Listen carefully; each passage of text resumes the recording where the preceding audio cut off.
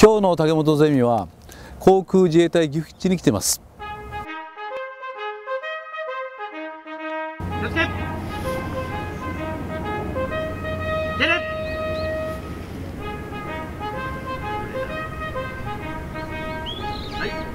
えー、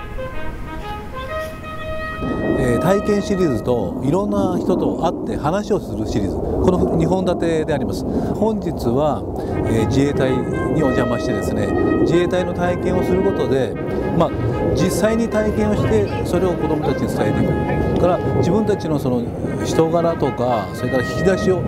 多く作るためにもこういう体験はすごく貴重だというふうに思っておりますので今日は一日体験させてもらってます。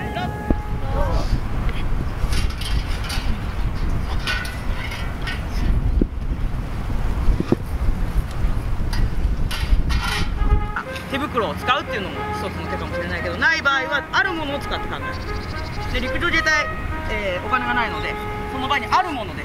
対応することが本当に多いです臨機応変にその前にあるものもう木でも何でもいいロープロープがなかったらこれ裂きゃいいとかねいろんなものを利用して考えないと安全かつ早く、えー、作業ができないので今日の場合だったらこうしてね受け取ってあげる私も土のを作ったことあったんですけどその土の一つ作って並べるにしてもあの一人喋りながら師範してくださったのを見ただけでもやっぱり全然違うなっていうのとこの周り通った時に見えた土のの壁を見てやっぱりこれはすごいなって思ってそのあの作り方とか私がまた今日やってみて自分のものにできたことがちょっと良かったなと思います。いやそのただ単純作業の中にもいや面白いなっていうところがありましたね。一人でも人が運べるようになったところですね。緊急搬送でやっぱり人が運べるっていうのはかっこいいなって思ったりするので実際にできてよかったなって思います。教えてもらったことをやっぱりその自分たちだったら先生になるんだったらこうやって子どもたちに話すんだろうなっていうことを意識しながら聞きますしそういうところに活かせるなと思いますね。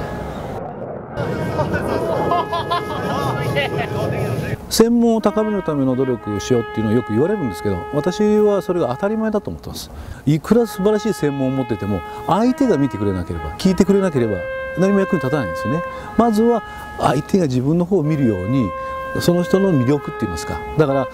人間性を培うためにどうするか。自分の魅力を出すためにはどうするか？自分の魅力とか個性を出せない人間に相手の個性を出すことは引き出すことは難しいです。それから今子どもたちも含めていろんな世の中悩んでる人もいっぱいいます。でそういう人たちを引き上げるためにはすごいパワーがいるんですね。でそのパワーを出すためにもいろんな経験をしていろんな人がいるんだなっていうのを改めて感じることが大事だと思います。